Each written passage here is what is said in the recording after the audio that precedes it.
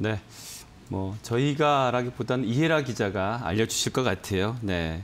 LG 에너지 네. 솔루션 이번에 한 주라도 받을 수 있는 방법 좀 한번 정리해 주시죠. 네, 드디어 대어를 낚을 때가 왔네요. 네. 공모도 잘안 하시는데 이번엔 하실 그쵸, 그쵸. 거라고. 이번엔 해봐야겠다는 생각이 네. 강하게 듭니다. 아마 그런 분들이 많으실 것 같아서 네. 제가 오늘 이 이슈를 가지고 와봤는데요. 상장 후에 최대 몸값이죠. 그러니까 100조 원대로 달할 것이다 라고 이렇게 치솟을 것이다 라고 예상되는 최대 IPO LG 에너지 솔루션이 드디어 이달 상장을 앞두고요. 일반 청약을 다음 주 화요일, 수요일 이틀에 걸쳐서 진행이 됩니다.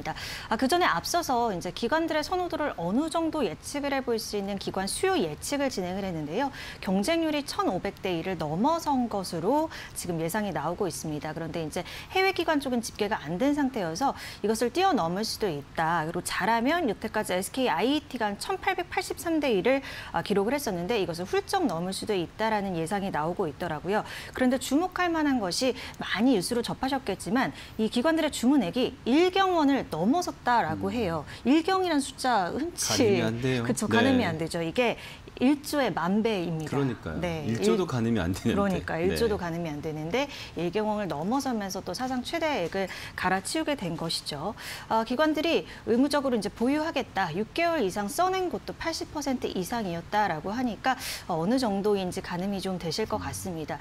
이렇게 기관들의 선호도가 높게 나타났기 때문에 공모가 역시나 어, 희망밴드 상단에서 결정이 될 것으로 예상이 됩니다. 30만 원 선인데요. 뭐 이보다 좀 높일 수도 있다라는 얘기가 나오긴 하는데 아직까지 제가 지금 확인을 해보니까 확정액은 나오지는 않았습니다. 오늘 중에 나올 것으로 보이니까 한 30만 원 기준으로 이제 말씀을 드리도록 하겠습니다. 그렇게 된다라면 아, 이제 30만 원 기준으로 예상 시가총액을 따져봤을 때 70조 2천억 원. 근데 앞서서 제가 이제 100조 원대를 바라보고 있다라고 말씀을 드린 것이 바로 증권가의 예상인데 그러니까 상장을 하고 그 이후에도 주가 상승에 대한 가능성을 좀 높게 보는 증권사가 많다라고 이해를 해보시면 좋을 것 같습니다. 그래서 이제 신청 물량이 워낙 많을 것으로 예상이 되다 보니까 이 지금 신청을 청약을 받는 증권사들도 뭐 이런 어, 회선을 속도를 높이고 또 서버를 이미 한 차례 좀 높 일수 있는 좀 원활하게 할 수 있는 어, 그런 부분들을 마련을 하면서 만반의 준비를 다 하고 있다라고 합니다. 이렇게 분위기만 봐도 시장의 기대를 한 몸에 받고 있는 LG 에너지 솔루션이기 때문에 오늘 좀 준비를 해봤는데요. 자세한 내용 이후 또 함께 살펴보시면 좋을 것 같습니다. 네. 자, 청약 관련해서 뭐 이 기업은 워낙 좀 잘 알고 네. 있는 기업이고 시청자 여러분들도 좀 어떤 기업이길래 이참에 좀 정리 좀 해볼까요? 네, 이 배터리 회사라는 것은 잘 알고 음. 계실 것 같은데요. 네. 일단 청약에 위주로 맞춰서 좀 정리를 해봤습니다. 일단 27일에 예상이 되고 있고요, 상장이요. 지금 전체 물량의 25%가 일반 청약으로 풀릴 만큼 일반 투자자분들에게도 기회가 되는 기회입니다. 네. 아, 다음 주 화요일, 수요일, 그러니까 18일, 19일 이틀에 걸쳐서 청약을 해볼 수가 있고요. 공가는 지금 예상안이지만 30만 원 선으로 예상을 해보시면 좋을 것 같습니다. 이번에는 이 일반 청약이 어, 비례 배정과 그리고 균등 배정 이렇게 50%씩 비율로 나눠지는데 어, 문자 그대로 투자자에게 같은 물량을 똑같이 나눠주는 게 균등 배정이고요. 이것이 50% 그리고 청약한 주식 수랑 증거금에 비례해서 물량을 나눠주는 것이 비례 배정이죠. 이것 도 이제 50% 이렇게 됩니다. 지금 보시면 청약하는 증권사가 아, 7개 정도로 나와 있습니다. 제가 대표 주관사, 공동 주관사, 인수당 구분 없이 적어놨는데 이렇게 7개 증권사를 통해서 청약을 하실 수 있다라는 부분을 어, 염두에 두시면 좋을 것 같고요. 당연히 중복 청약은 안 됩니다. 한 곳의 증권사에서만 청약 신청을 최종적으로 결정을 하셔야 되는 것이고요. 지금 상장 직후 유통 가능 물량이 한 14% 수준이라서 어, 매우 낮다 이런 부분도 좀 매력적인 요소로 작용을 할수 가 있을 것 같습니다.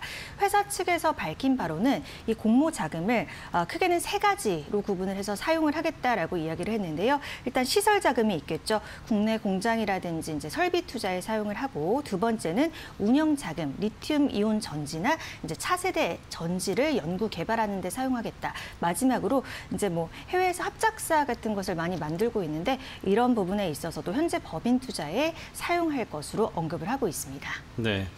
자, 이제 우리 시청자 여러분, 개인 투자분들이 이번에만큼은 놓치지 말아야지 하고 이제 벼르고 벼르고 계실 텐데 이 균등 배정하고 비례 배정이라는 게 있잖아요. 네. 이 방식에 따라서 전략도 달라질 것 같아요. 네. 일단 균등 배정부터 들어볼까요? 네, 일단 균등 배정부터 알려드리도록 하겠습니다. 최소 이제 청약 증거금 그리고 최석 청약 수령으로 해보실 수 있는 방법이기 때문에 일반 투자자분들은 아마 이 부분을 공략하시는 분들이 그렇죠. 많으실 네. 것이라고 생각이 듭니다. 아, 최소 청약 수령 10주를 기준으로 말씀을 드렸을 때 이제 공모금이 아, 이제 삼 공모가가 삼 30만 원이죠. 그래서 10주를 하면 300만 원인데 이제 네. 50%만 증거금으로 그렇죠. 넣으면 됩니다. 네. 그래서 150만 원 정도가 필요하고요. 어, 만약에 200만 건 이상이 접수된다라고 가정을 했을 때도 지금 균등 배정 물량이랑 비교를 해봤을 때 최소 두 주에서 세주 정도는 받을 수 있다라고 어, 예상을 해볼 수가 있을 것 같습니다. 증권사별로 물량을 좀 상이하게 나타나는데요. 어, 제가 표로 좀 준비를 해봤습니다. 아무래도 대표 주관사인 KB증권이 45% 넘는 물량을 확보를 했고요. 이어서 대신증권과 신한금융투자가 각각 22%씩, 이외 인수단인 4개 증권사가 각 2%씩 갖고 있습니다. 그런데 이렇게 증권사가 가진 물량이 많다고 해서 많은 주식을 또 배정받는 것은 아니죠. 투자자가 몰려서 경쟁률이 높아질 수 있기 때문입니다. 그리고 물량이 적은 곳으로만 추천을 할 수도 없는 게 어, 신청수가 많으면 배정을 못 받을 가능성도 생기기 때문에 청약 마지막 날까지 긴장감 놓치지 음. 마시고 아, 이 경쟁률을 확인을 하시 고 가장 낮은 곳을 찾아야 한 주라도 더 받을 수 있는 가능성이 생기게 됩니다. 또 확인할 것이 이 증권 증권사별로 대면 계좌와 비대면 계좌를 개설할 수 있는 이 가능 시기가 상행해서 이 역시 이제 표로 준비를 해봤는데요. 네. 지금 보시면 대면 계좌 개설은 일곱 개 증권사 모두 다음 주 월요일 17일까지밖에 안 됩니다. 그런데 이제 비대면 계좌는 대신증권, 신영증권, 하이투자증권까지 아, 이렇게 17일까지만 가능하고 비대면 계좌는 뭐 19일까지 청약 마지막 날이죠. 이때까지 가능하니까 이 시기도 확인을 하시는 게 좋겠습니다. 그런데 제가 앞서서 이제 경쟁률 끝까지 확인하셔야 된다. 증권사 비교해보고 경쟁률이 낮은 곳으로 선택을 해야 된다라고 거듭 말씀을 드리는데 그러려면 다수 증권 계좌를 갖고 있어야만 선택을 할 수가 있잖아요. 그래서 지금도 다수 계좌를 개설하실 수 있는 방법 이 있어서 이 역시 좀 준비를 해봤습니다. 순서가 중요합니다. 왜냐하면 어, 앞서 20일 동안 타사에서 계좌를 만들었으면 가입이 불가한 곳이 있기 때문인데요. 그래서 이제 순서대로 꼭 진행을 해보셔야 됩니다. 그래서 어, 이제 보시는 것과 같이 계좌 개설 20일 제한이 있는 곳부터 먼저 개설을 하시고 네. 그다음에 은행 제휴 증권사라고 제가 적어놨는데 카카오뱅크를 통해서 지금 보시면 신한금투나 하나금투, KB증권은 다 같이 개설을 하실 수가 있습니다. 그리고 마지막으로 계좌 개설 제한이 없는 곳 순으로 진행을 하 신다라면 아마 이렇게 다수의 계좌를 확보하신 상태에서 마지막 날 경쟁률이 낮은 곳으로 우리가 신청을 해보실 수 있는 기회가 생기니까요. 이 순서대로 꼭 진행을 해보시면 좋을 것 같습니다. 이렇게 한 주라도 더 받을 수 있는 전략까지 일단 균등 배정에서 사례를 살펴봤습니다. 네. 어, 이제는 또 이제 비례 배정에 대한 전략인데 사실 그 이제 이슈 체크를 이제 하다 보니까 각 네. 신문사에들 여러 전략들이 나와 있더라고요. 그래서 지금 물량이 KB증권이 많다라고 하는데 글쎄요. 이 네. 방송을 보고 또 전략이 또 실패하지 않을까 걱정도 있어요. 일단 가장 가능성이 높은 것은 아무래도 이제 비례 배정은 그만큼 뭐 청약 수도 많고 음. 그렇죠. 또좀 많이. 예, 네. 거는 경우가 있기 때문에 뭉칫돈이 있으시다면 가장 물량이 많은 KB증권이 유리할 것으로 보이기는 하는데요. 음. 네. 그래도 이 역시나 마지막까지 경쟁률 확인을 그렇죠. 하셔야 될것 네. 같고요. 지금 한 1억 정도 어, 청약을 한다라면 한 균등 배정에 어, 다섯 주에 여섯 주 정도 더 받을 수 있다라는 얘기가 같이 점쳐지고 있는 상황입니다. 음. 네. 지금 LG 화학 주가 이제 이런 영향을 받아서 계속 이제 하락 추세에 있는데요. 앞으로 향후 LG 엔솔 상장 이후의 어떤 주가 전망이라든지 LG 화학까지 좀 챙겨 주시죠. 우선 LG 에너지 솔루션부터 살펴보도록 하겠습니다. 지금 적정 시가총액이 100조 원대라고 이야기를 하는 증권사가 아, 다수 있습니다. 왜냐하면 이제 작년 기준으로 봤을 때도 뭐 글로벌 2차 전지 기업 2위인 것은 명실상부 나타나 있는 상황이죠. 네. 지금 CATL에 의해서 점유율 2위 정도를 차지를 하고 있는데 그렇지만 지금 점유율로 봤을 때는 이렇지만 기술력으로 봤을 때는 LG 에너지 솔루션이 크게 뒤처지는 상황이 아닙니다. 뭐 특허 수로만 봐도 그렇고요. 있고요.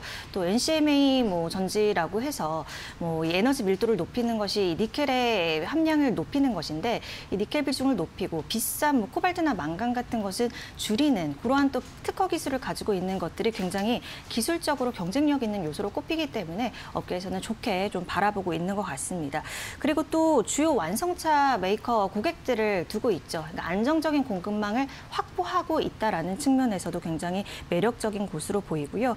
또 원가 절감에도 적극적으로 나서고 있죠. 라이사이클이라고 해서 북미 어, 이 최대의 배터리 리사이클링 업체 지분 어, 인수를 했다라는 소식도 전해드린 바가 기억이 나는데요.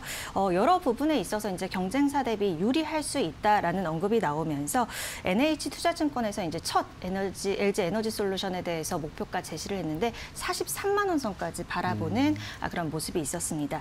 다만 어, 이제 상장을 하고 나서 단기적인 이러한 수익성보다는 중장기적으로 외형 성장에 보다 이제 투자할 가능성이 있잖아요. 그렇기 때문에 경쟁사 대비 수익성은 다소 좀 더디게 나타날 수 있다라는 부분은 염두에 두셔야 될 것 같고요. 문제는 이제 LG 화학이겠죠. 어, 그동안 이 자회사 전기차 배터리 성장성 때문에 주가가 견인된 요소가 있었는데 지금은 이제 상장에 따라서 투자 심리 악화는 당분간 좀 불가피하다라는 의견이 다수 어, 증권가의 중론인 것 같습니다.